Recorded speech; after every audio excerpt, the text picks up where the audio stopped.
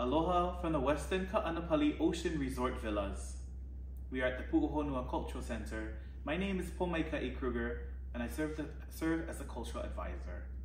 Here we present a number of Hawaiian pule, traditional chants. These are used to speak out into the universe, to ask for our ancestors to be with us, to give us inspiration and life. Please follow along with these chants as they might help you find some inspiration in your own life.